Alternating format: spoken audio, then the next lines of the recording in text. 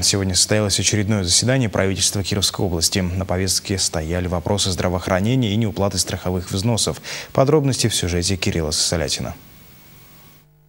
Члены правительства обсудили законопроект об охране здоровья граждан в Кировской области. Целью разработки представленного вашему вниманию проекта закона явилась необходимость приведения действующего в настоящее время закона области в соответствии с действующим законодательством.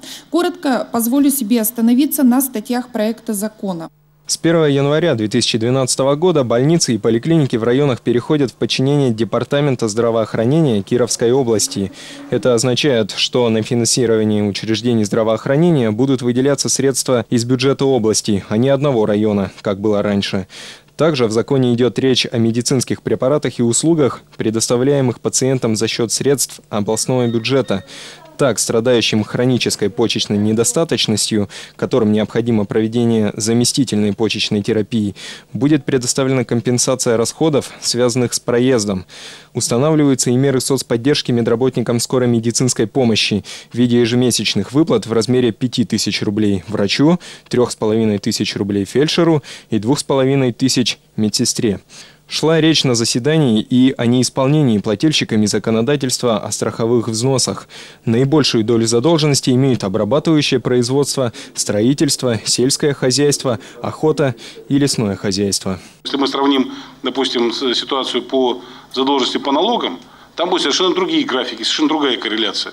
То есть и там те же как бы, предприятия строительной отрасли, вы тоже прекрасно знаете, там регулярно платя налоги, потому что их за это как бы там налоговая там следит и, значит, э, извиняюсь, дрючит как бы там регулярно, считает возможным не платить как бы там взносы в пенсионный фонд и фонд обязательного медицинского страхования. Для повышения уровня собираемости страховых взносов проводится совместная работа с органами власти, прокуратурой и силовыми структурами.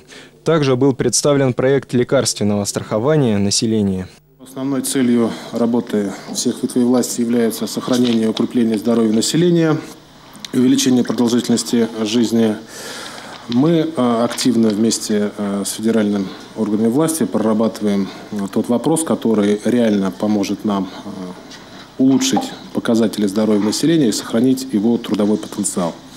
Вопрос он называется традиционное лекарственное страхование. Согласно проекту, медицинскими препаратами будут обеспечены пациенты, которые нуждаются в ежедневном их применении. В основном это страдающие сердечно-сосудистыми заболеваниями.